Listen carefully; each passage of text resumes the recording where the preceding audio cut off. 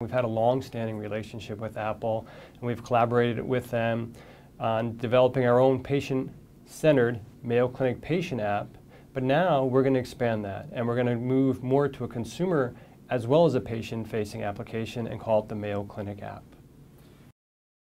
Consumers or patients could take data from their local environment, their home, they could connect it to the Mayo Clinic app, and then, as patients interact with their physicians, when that information is passed from the Mayo Clinic app and ultimately into the electronic health record.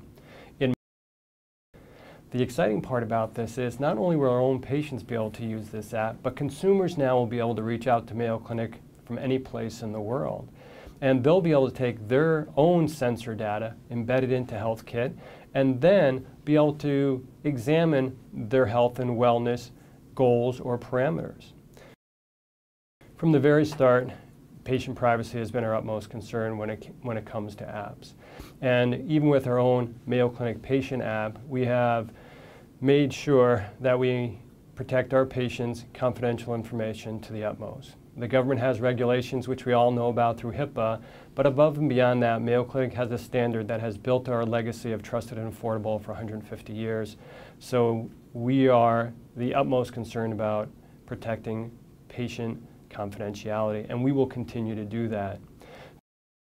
The information contained in, within HealthKit is at the patient's control, and what they do with that information and who they share that with is up to them.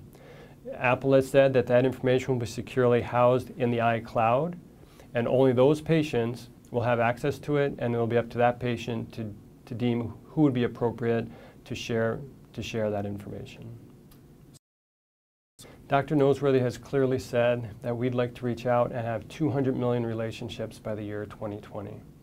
This Apple Mayo relationship is one part of that broader connected care strategy. We all believe that technology, technology solutions such as these will really drive to affordable health care in the future. And if we can use these solutions to reach out to patients at the front line of care, we can decrease ER visits, we can decrease hospitalizations, and ultimately and hopefully decrease the overall cost of care for the patients and for the U.S. healthcare system. Um, it, was a, it was an amazing opportunity for me, and more importantly, an amazing opportunity for Mayo Clinic. Uh, it's a very Apple-controlled event, and it was a rock, rock concert-like feel, and it was an old world rock concert-like feel because people uh, had to go through a lottery process to obtain tickets. There was no assigned seating, and there was a long line around the door waiting to get in at 8 a.m. when the conference started. Apple itself believes that the Mayo Clinic Apple relationship is important. They believe that it's important to move healthcare forward. And they, Apple believes that they have a social responsibility to do something in the healthcare space. And we obviously have a moral responsibility and have proven that moral responsibility to treat our, treat our patients for the last 150 years. So I think it's a relationship um, that could do great things. So Apple announced the development of HealthKit, a central data repository to allow patients to place health and wellness parameters into one central source on any software device that they own.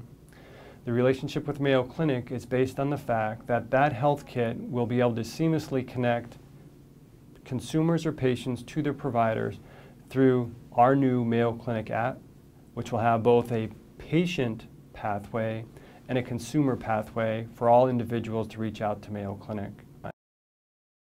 What makes this interesting is you now take a world-class electronic platform and software producer like Apple and you marry it to information, knowledge, and health care at Mayo Clinic and now all those data points become actionable for patients. So my blood pressure is 120 over 70. What does that mean? Well, you can take your finger and place it on that app. A card could potentially flip over and it'll say, it's normal. Continue doing what you're doing, maintain 30 minutes of exercise three days a week, or whatever that recommendation is. But if it's abnormal, there could be recommendations as well. So we reach out to consumers, we reach out to patients in a different way, and we allow their data to become actionable and allow them to learn and change what they're doing instead of just collecting data that really is dead-end data.